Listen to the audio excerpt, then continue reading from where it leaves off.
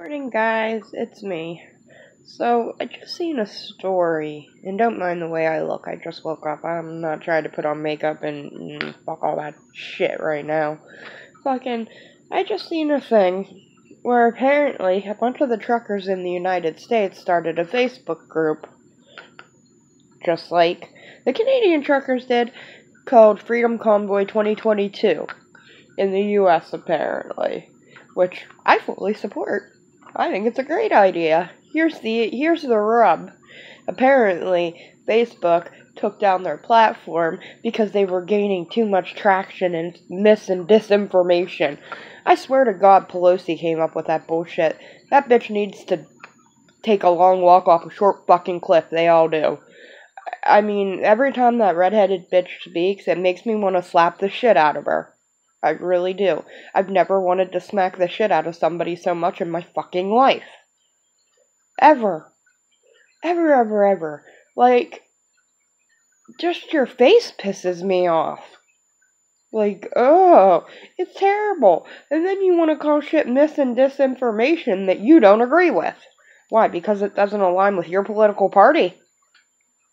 Funny how all the people that get shut out on those platforms tend to be Republicans. Now, I'm non biased. I'm not Democrat nor am I Republican. I'm independent. But see, here's the rub. When you start censoring people to support your political agenda, we no longer live in a free country.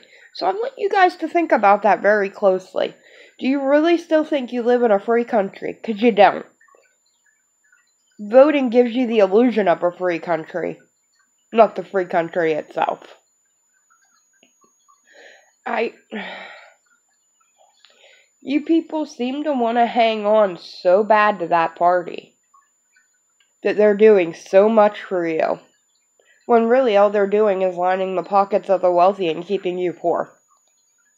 That's all they care about.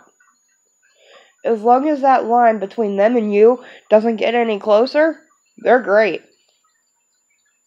As long as you don't make nowhere near the amount of money that they make, they don't care.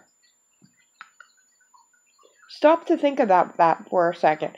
Everything in the world has always been run on money. Money, money, money, money, money, money, money. Everything. Doesn't matter what it is. Any situation in the world you can go back and look into, and nine times out of ten, there's going to be money motivation behind it but yet you want to call it misinformation, right, you bitch? Right? I seriously hope the truckers still manage to do this shit themselves. I really do, because I would be cheering them on every step of the way just like I am for Canada. I'm not even from Canada and I'm still cheering them the fuck on. Don't care. These governments have gotten way too big for their fucking britches. They need us, not the other way around. We the people don't give a fuck about you. How about that? And if you keep pushing, we're gonna push back. And I don't think you're gonna like it very much. So if I were you, you stupid bitch, I would sit your little red ass down and shut the fuck up.